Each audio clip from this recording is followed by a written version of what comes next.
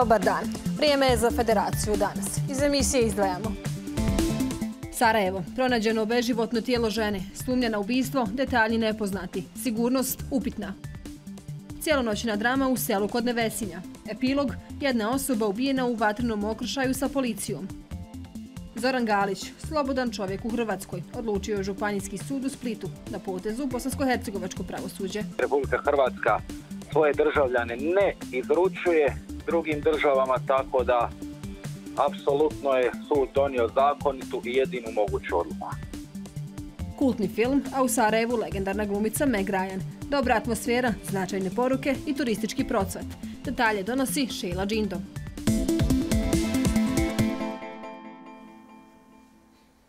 Još jedno brutalno ubistvo žene. U Sarajevskom naselju u Ciglane pronađeno je beživotno tijelo NS. Uhapšen je muškarac inicijala MD. Javnost je zgrožena, posebno nakon informacije o načinu ubistva žene. Ovo je deveti slučaj femicida u ovoj godini. Ubistvo u Sarajevskom nasilju Ciglane. Kako nezvanično saznajemo, istražitelji su bili šokirani nakon dolaska na lice mjesta. 60-godišnja NS je ubijena hladnim oružjem. Nezvanično tragovi noža su vidljivi i na prijedjelu glave i vilice. Ministarstvo unutrašnjih poslova kantona Sarajevo je uhapsilo muškarca MD zbog sumnje da je počinio ovo krivično djelo. Dežurna tužiteljica kantonalnog tužilašta Sarajevo naredila je provođenje brojnih vještačenja i drugih radnji sa ciljem dokazivanja i potpunog rasvjetljavanja svih okolnosti ovog krivičnog dijela. Građani nisu krili strah. Policiju ovdje ne možete vidjeti ni u snu, a kamo šta više, tako da sigurno se osjećamo nesigurno. Ukoliko se nestane u kraj ili na kraj, bolje rečeno, sa ovim, bojim se da ove generacije koje sad sasavaju, koji dolaze, će biti u velikom problemu, da će i dočekati jedan vid anarhije. Ja svakodnevno prolazim ovom ulicom, dakle moja majka, člana moje porocije, svakodnevno prolazi ovom ulicom. Dakle, ja ne znam zaista tačno o čemu je riječ, ali što god da je u pitanju, nasilje nad ženama je apsolutno neprihvatljivo. Nasilje nad bilo kim je neprihvatljivo. Što god da se desi, poslije se onda mjere neke poduzimaju mjesto preventiva neka. Tako. Živimo u takvoj državi. Istraga ubistva NS je u toku. Ovo je inače deveto ubistvo žene u ovoj godini. Femicid još nije uvršten u krivični zakon Federacije Bosne i Hercegovine. Podsjećamo, inicijativa da se to uradi postoji duže od godinu dana. Preventivne mjere očito ne daju rezultate. Ubice i nasilnici uglavnom povratnici u vršenju krivičnih dijela. Adekvatnim mjerama nisu sankcionisani. Slučaj za slučajem i sve više postajemo društvo čija je odlika nesigurnost. Promjena u sistemu nema. Ostaju samo upozorenja. Ona najglasnija od struke i nevladinog sektora. Jako, jako trom pravosudni sistem u Bosni i Hercegovini. Dakle, I kada izostane pravovremena i adekvatna reakcija društva po automatizmu, to E, ljude, da tako kažem, motiviše da rade, da rade ovaj loše stvari. Pozoravao sam neki dan u izjavama da e, će nam se desiti situacija da smo postali, e, da smo oguglali na zločin. Činim se to, da se to dešava da polako ubistvo, još jedno ubistvo, kažemo pa ok, ubistvo još jedno ne tiče nas, ne dotiče nas, nije iz neke naše bliže sredine i idemo dalje do nekog nesretnog sljedećeg slučaja i ja postavljam pitanje zaista ko je sljedeći. Ma kakva prevencija? Šta se radi na prevenciji u Bosni i Hercegovini? Pa imate, nije nekako prevencija radi. Mi radimo samo na posljedicama. Prava drama odvijala se u selu kod Nevesinja. Jedna osoba zatvorila se u kuću, a nakon niza pokušaja rješavanja situacije došlo je do vatrenog obračuna i sa pripadnicima policije. Epilog, napadač je ubijen. Naša ekipa je na čelu sa Ilijom Nikolićem posjetila ovo selo. Evo šta su zabilježili. U mjestu Zove i do pokrajne Vesinja jučer po podnevnim satima došlo je do pucnjave u jednoj napuštenoj kući. Policijski službenici policijske stanice na Vesinje, jedinice žandarmerije policijske uprave Trebinje su bile na licu mjesta jučer tokom popodnevnih i večernjih sati. Pokušali su ući u pregovore sa napadačem, ali nažalost nisu uspjeli. Napadač je tokom cijelog dana e, izveo nekoliko rafaljnih paljbi po policiji, bacio je nekoliko bombi, te gelerom čak i ozlijedio jednog e, mještanina ovog sela. Poslušajmo izjave. Odma po zaprimanju prijave na lice mjesta su izašli policijski službenici policijske stanice Nevesnje, gdje su evakuisali mještane, opkolili kuću i u više navrata pozvali nepoznato lice da se preda. Na naređenje policijskih službenika lice se oglušilo i u više navrata zapucalo prema policijskim službenicima iz vatrenog oružja. u momentu kada je došlo do eh, razmjene vatre od strane policijskih službenika otvorilo ulazna vrata objekta i uz podvike Ala u Egber počelo pucati prema policijskim službenicima, nakon čega je navedeno lice od strane policijskih službenika policijske uprave Trebinje u sladu sa pozitivnim zakonskim propisima lično slobode. Života, izvinjavam se. Onda je nastavio da puca, nastavio da puca non stop do, do, do, do 11 sati, od 4 sata, eto, od 4 sata do 11 sati, dok ga nisu likvidirana. Došla je žandarmerija, je ovi, došli oni, ne znam, nija više ko. I tu smo bili non stop po paljbom, znači oni pucao, non stop pucao, pucao, pucao, pucao i gotovo. Mi iz opštine Nevesine smo se javili policiji, naša pomoć u tom momentu nije trebalo, oni su to odradili sami, a ovom prilikom pohvaljujem i policiju i njihove rukovodne radnike što su na adekvatan način odgovorili i mislim da se njihovoj akciji ništa ne može prigovoriti osim što moramo svi žaliti što je jedan, nažalost, to se je moralo tako završiti, ali nije bilo drugog izbora. Kako saznajemo od mještana ovog sela, ovo je nezapamćen događaj. Ovakvi incidenti nikada prije nisu zabilježeni u ovom mjestu. Policija je u toku akcije morala čak i ustraniti mještane iz ovog mjesta.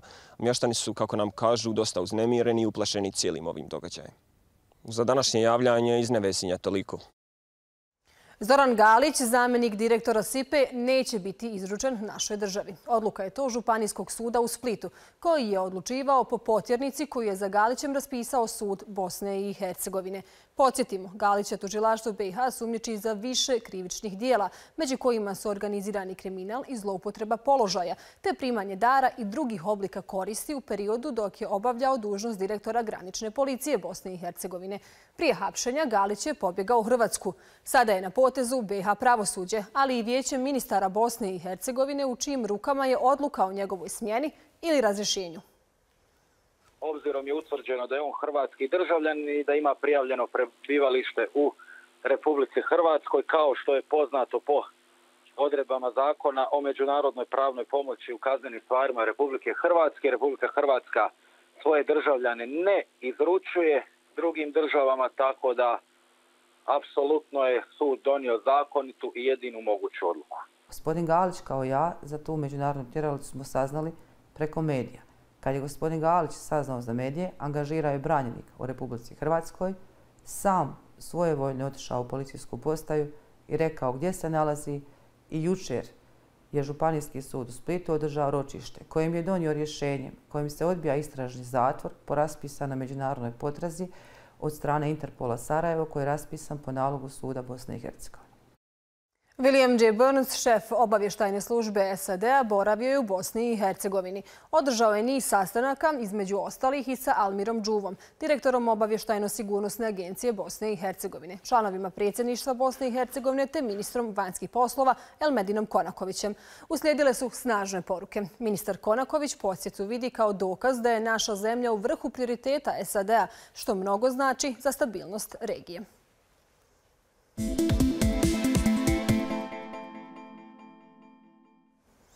Peti dan SFF-a u znaku je hollywoodske glumice, svjetske zvijezde Meg Ryan. Sinoć je doputovala, a jutro se održala masterclass u Sarajevskom BKC-u. Domaćin je bio BH Oskarovac Dani Stanović. Ovo je samo dio dešavanja koji nas očekuju. Po detalje idemo do naše Šejle Džindom. Šejla, dobar ti dan. Kakva je atmosfera u Sarajevu i kakvi su to planovi s obzirom da smo danas domaćini jednoj velikoj svjetskoj zvijezdi? Dobar dan, Inela. E, trenutno nam kiša malo diktira ritam euforije. Posjetioci su se stidno sakrili za tendica i suncobrana, ali čisto sunjam da će tu i ostati. Ubrzo se približavamo terminu prvog crvenog tepiha koji nas čeka danas i upravo tu je i najavljena posjeta Meg Ryan o kojoj si malo prije govorila i nije ni čudo što je cijeli dan u znaku njene posjete i kako i neće biti E, jednostavno je ona lice koje vole sve generacije. Taj masterclass kojeg je jutro održala bila je prilika da se posjetioci upoznaju sa njenim glumačkim opusom, sa onim što je ostvarila u svojoj karijeri, iako imam osjećaj da dosta toga već znamo. I čak i ona suprotstavljena sa tolikim brojem angažmana koje je imala tokom godina, e, reagovala je na to, parafraziraću, da umjetnost zaista mora biti neizbježan dio života, to je sastavni dio života. Umjetnost koju ona odabrala je sedna umjetnost, ali se ona i žanrovski profilirala, uradila je taj korak dalje, postala je prepoznatljiva po romantičnim komedijama i to iz 90-ih i ranih 2000-ih, a taj žanr je ono e, jednostavno svima E, veoma često atraktivan i nema osobe koja se nekada nije našla ispred ekrana da upravo gleda romantičnu komediju bez obzira koliki filmofili bili ili e, općinjeni jednostavno teškom dramom. Nekada se volimo opustiti uz takvu vrstu filmova. E, večeras će biti uručeno njoj i počasno srce Sarajeva upravo kao neki znak zahvale zbog odluke da nas e, posjeti i to će biti uručeno tokom prikazivanja jednog od takvih filmova kako sam opisivala. E, imaš poštu gdje je odigrala glavnu ulogu sa Tom Hanksom. Naravno, e, kao što si i sama rekla, da ne bude na nas je Meg Ryan u potpunosti zasjenila, da ne bude da smo zaboravili šta ovaj festival e, generalno znači. E, napomenut ću samo nekoliko ključnih događaja koji smo imali danas. Tiču se jučerašnjih projekcija. Imali smo pres konferenciju ili upoznavanje sa ekipom serije Princ iz LA koja je prije nekoliko dana dobila nagradu za najbolju komediju. Zatim smo imali upoznavanje sa ekipom jednog od takmičarskih filmova koji se bore za srce Sarajeva ove godine je igrani film. U pitanju je e, e, jedan somalski film kojim sam trenutno zaboravila ime, ali vjerujem da će gledalci pomno to potražiti pa će me ispraviti u ovom lapsusu. Ali e, još jedna stvar koja se i veže za ove vijesti koje smo slušali danas jeste e, film Srđana Vuletića. E, dugo smo čekali da Srđan napravi neki novi film i sada je napravio taj iskorak i možemo njegovo dijelo nazvati svojevrsnom socijalnom kritikom. On se upravo tiče nasilja nad ženama. I mislim da je to još jedan način da se pokaže da tom problemu o kojem slušamo svakodnevno, pa evo i danas, e, moramo pristupiti sa više frontova. Moramo podizati svijest na bilo koji način na koji umijemo, a umjetnost je veoma često jedan od najplodonosnijih alata. Predlažem da poslušamo njegovu izjavu o ovom filmu film Jim je, može da bude jedna super analiza e, kako neke stvari ne trebaju da se rade u produkciji filma.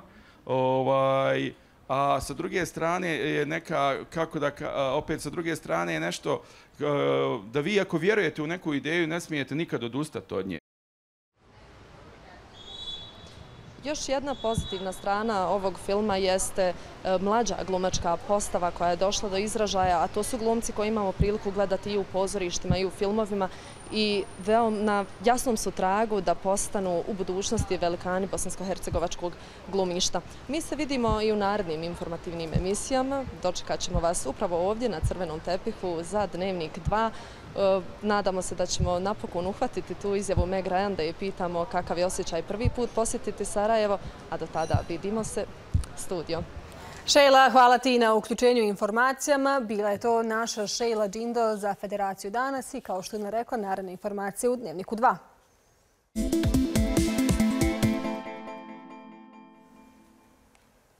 U selu Stranjani kod Zenice jako nevrijeme izazvalo je velike probleme mještanima.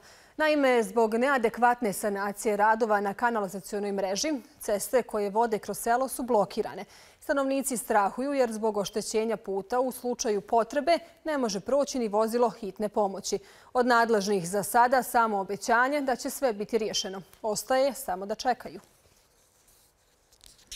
Pet mjeseci kako ovaj dio ovdje urađen I nikad ništa. Samo naspu ovako ovaj, i kiša udari odnese nam sve mi opet po dva dana radimo da saniramo nekako. Međutim, ne možeš ti ode, opet ode. To je katastrofa, jer gore planina, od ozgo taj put vodiš dole. Ovo sve može odnije dole na, na glavnu cestu. Kuće ljudima su ugrožene, sve to. Znači, ovdje se više ne zna šta može da se desi.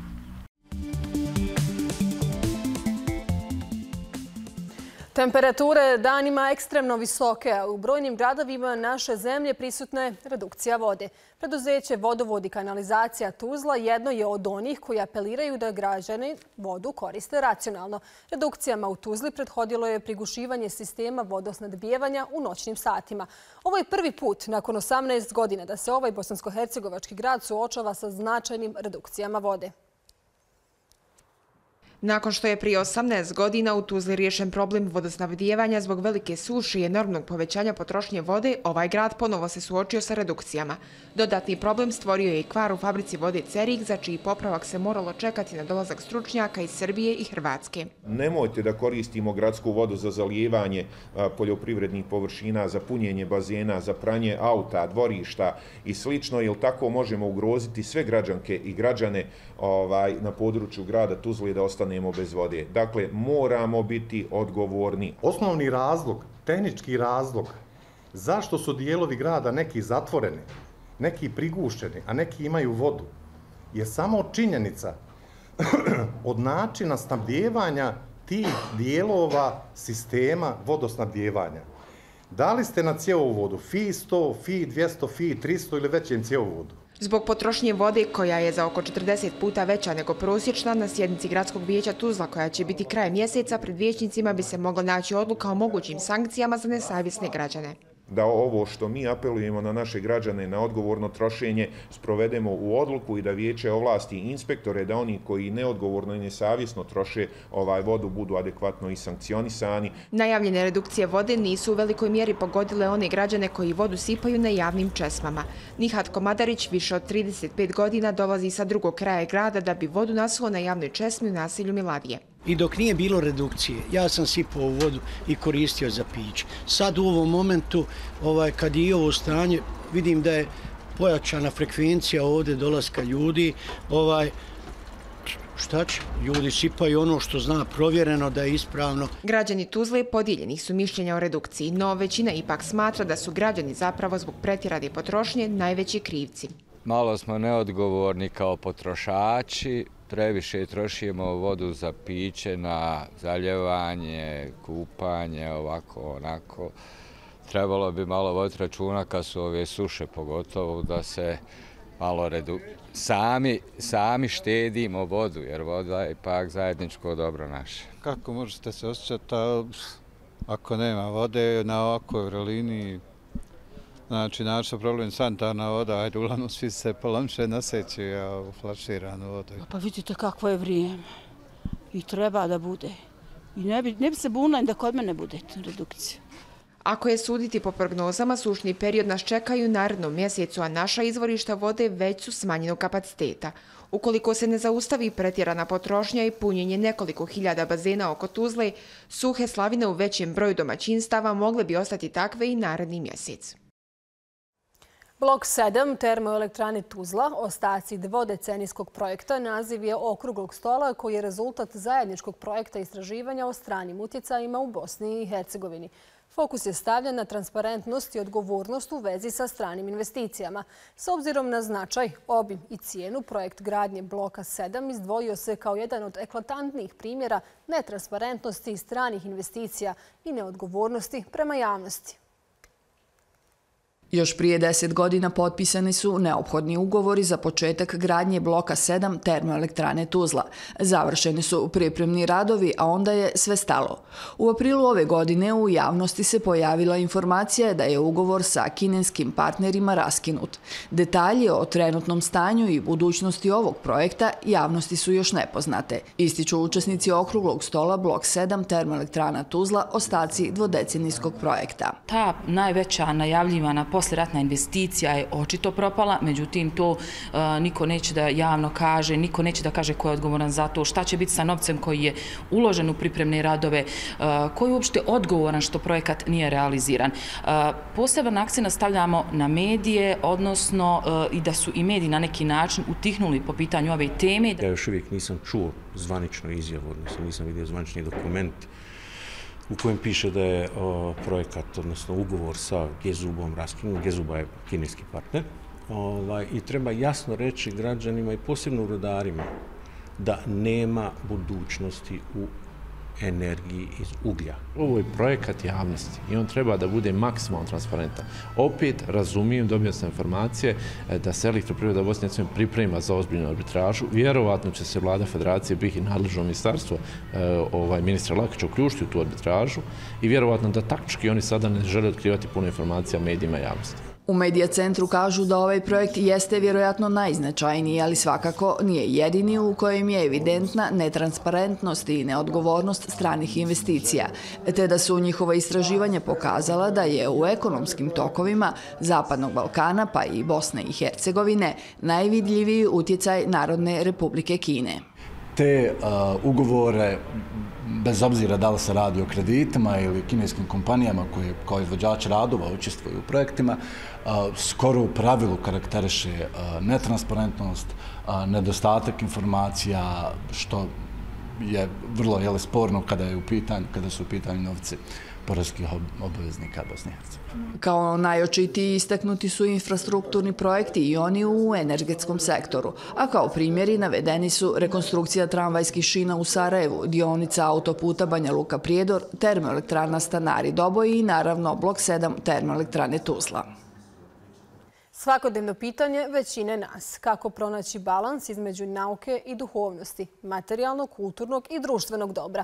U doba digitalizacije i agresivne retorike ljudi se često gubi između prezentiranih činjenica i dezinformacija. Radi razvoja zdrave diskusije u duhu tolerancije, na platovu Arheološkog parka Ravne kod Visokog organiziran je drugi susret lidera svjesnosti. Ulazite u zonu bez stresa. Natpis je koji će vas dočekati na samom početku pri ulasku u Arheološko-turističkom i sportskom parku Ravne 2 u blizini Visokog. Drugi susret, lideri svjesnosti 2024, je neformalni skup koji je okupio vodeće regionalne lidere s ciljem umrežavanja, druženja i razvoja diskusije u duhu nediskriminacije, tolerancije i međusobnog uvažavanja. Dolaze nam ljudi koji su naši ljudi. Svi mi govorimo istim jezikom, ista kultura, ista tradicija. Mi se smijemo istim stvarima, mi plaćemo zbog istih stvari. Ljudi osjete da su došli u prostor gdje su dobro došli, gdje nema one gradske atmosfere, betona, lošeg elektromagnetizma, nervoze.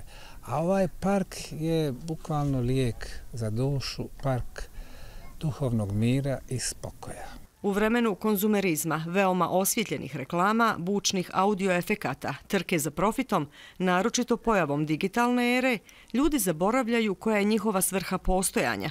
U traganju za prividnom srećom izgube suštinu. Svi me želimo budemo srećni. U toj sreći je potrebno ostvariti balans između fizičkog zdravlja, mentalnog, emotivnog, duhovnog, socijalnog, naravno ekološkog, i na kraju krajnjoj logističkog poslovnog. Elem, taj balans je iščašen. U sukobu sa tim vremenom naravno da postoji i ona druga strana, a to je činjenica da kad se zagledamo u sebe, onda shvatimo koliko smo mi u stvari pre svega duhovna bića. Skup duhovnosti, mira i saradnje okupio je 32 osobe koji tragaju za duhovnim znanjem, balansom fizičkog i spiritualnog aspekta, a spajaju nauku i duhovnost. Među njima su ljekari, psiholozi, glumci, muzičari, TV voditelji i druge javne ličnosti koji dolaze iz Bosne i Hercegovine, Slovenije, Srbije, Hrvatske i Makedonije. Ja smatram da je umjetnost kao jedan portal kroz koji možemo doseći neke dublje slojeve samog sebe i svijeta koji nas okružuje. Jer sa ljudima u, u, u suštini upravljaju kosmološke zakone koji su neumoljivi i koji su jednakvi u svim vremenima i za sve ljude. Ko kako to percipira i kako ima iskustvo, to zavisi od puno faktora. Ali najviše je njegova svest, njegova volja, njegova želja da napređuje, da bude bolji, da bude srećniji i nasmejaniji. Iz ovog prostora zasigurno će izaći sretniji i s osmijehom na licu. Bez obzira na to da li su došli posjetiti piramidu, uživati u dobrom koncertu, igrati ili pogledati teniski meč, nešto naslikati ili pak meditirati. U potrazi za znanjem, mirom, srećom i blagostanjem, turisti iza cijelog svijeta došli su po tu čudesnu energiju koja se krije u bosanskim brdima. Kješovito je ovih dana diljem naše države. U nastavku pratimo kakvo nas vrijeme očekuje narednih dana.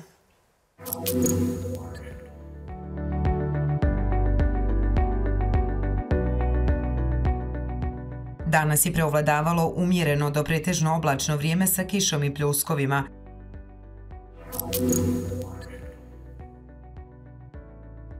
Sutra u Bosni umjereno do pretežno oblačno, u Hercegovini sunčanije uz umjerenu oblačnost.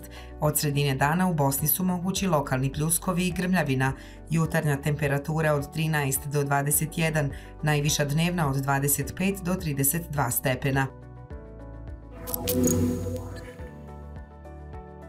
U naredna tri dana promjenjivo vrijeme. U srijedu u Bosni umjereno do pretežno oblačno, u Hercegovini sunčanije uz umjerenu oblačnost. Od sredine dana u Bosni su mogući lokalni pljuskovi i grmljavina, temperatura između 13 i 32 stepena. U četvrtak stabilizacija vremena, tokom dana će preovladavati sunčano vrijeme, temperatura između 12 i 34 stepena. U petak pretežno sunčano, temperatura između 13 i 34 stepena.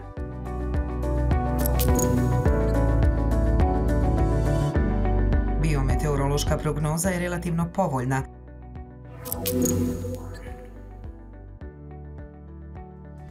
Toliko od ekipe Federacije za danas. Naredni pregled informacija pratite u Dnevniku 2 koji je na programu 19 sati i 30 minuta. Ostanite uz naš program. Hvala vam na pažnji i doviđenja.